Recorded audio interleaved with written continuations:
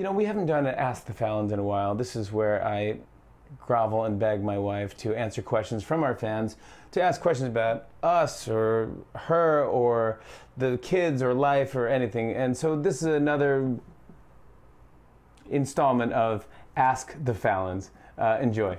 Ask the Fallons, ask the Fallons. All right, this is Ask the Fallons. Thank you so much for sending these questions in. Is your glass, are your glasses steaming? Oh my gosh, I was about to say I have not mastered the Feels mask like- wearing and glasses I feel wearing. like broccoli right now. I feel like I have to pick one or the other and it's gonna be well, there's no one here, so we can judge. it's gonna be the Oh, mask. that's a good ripoff. I'm gonna do this All right. in case of quick. I'm just gonna do like placement. fast as I can put it on. I know. There's no one here. All right, so far so good. Yeah. All right. Um, we have a bunch of questions, great ones from people watching the show. And We're back. yeah. Did you ever think you'd be back doing it again? We didn't ever officially you never sort of told me I was out. No. I just sort of No, there took is no out. advantage You really did. You didn't bring it up. of you not bringing it up. You know Not what? it Someone asked a question I thought was was very you, but it's like if you had two hours to, um, two hours Yeah. to craft to, alone time, just to yourself, what would you do? What would you make? What would you be into right now? that just is so foreign to me right this second. Um, two hours to myself to just craft. Um, I wouldn't go buy any. Like I would have to always. It's sort of what do I have and what inspires me. So I think I The s- would. The twigs were the last one. Those that was probably what I was doing when I had a little bit of little time in between things was yarn bombing twigs and branches. Have- yarn bombing We have so many. covering a branch with yarn. Yes, just picking different like yarns and stuff like that. But almost the key is you kind of have to have like recycled it or found it or found your mom's old bin of it or something like that. Does that work? Howard Stern would kill me. Just- But he was in the car. What do you mean? He gets so mad at people not wearing masks when they're walking. But Yeah, but he's. Yeah, he was in a car. So yeah, yeah, yeah. What if it was Howard in that car? Does he drive a truck? he definitely drives it. For he, one he, he drives he drives a silver truck. Uh, no. If Yeah, anyone so comes I by, any uh, humans, Yeah, okay, humans, fine, all right. Um, I used to paint belts. I used to have strips of leather and make belts and paint them. And then random furniture, Howard. like stools. That was Howard's truck. Anything wooden. I would just strip it and and paint little micro, Always. a lot of times. People who've known me for a long time will probably unearth some weird thing in their garage.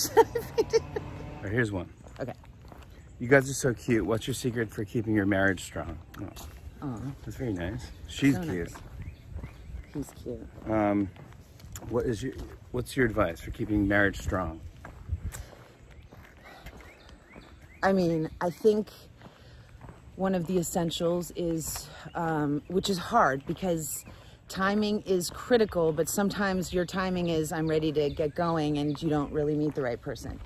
But I do think meeting the right person who you, um, it's not even like, it's so it, it's almost my answer is almost unromantic but i don't mean it to be unromantic but all of those like crazy googly notes and exciting and the bad boy and all that kind of stuff it does not pay off in the long term.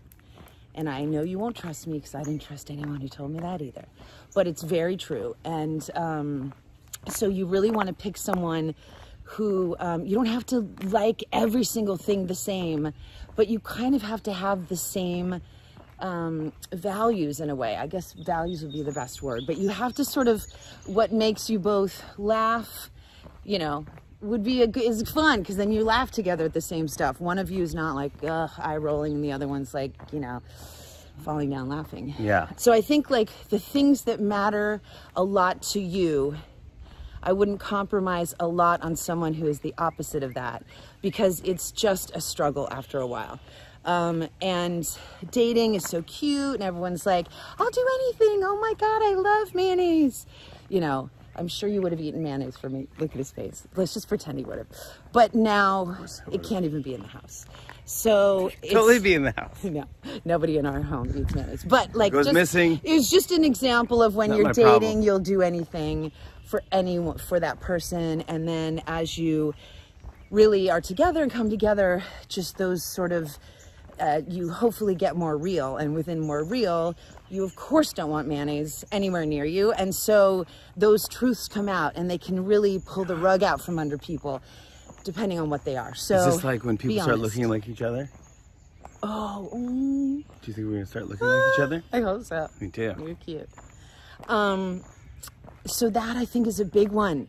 Honesty. Don't just honesty, but also just really have your list of uh, things that really you can't tolerate or must tolerate, and make sure they just line up enough that they're not like opposing the other person. And I think keep your sense of humor. And I think keep some independence. You just, neither of you should be so reliant on the other. Oh my God. Anyway, sorry. and now for Jimmy Fallon's. No, Uh, unfortunately, we have to go to commercial. on and on and on. Uh, I said, and it's on and on and on.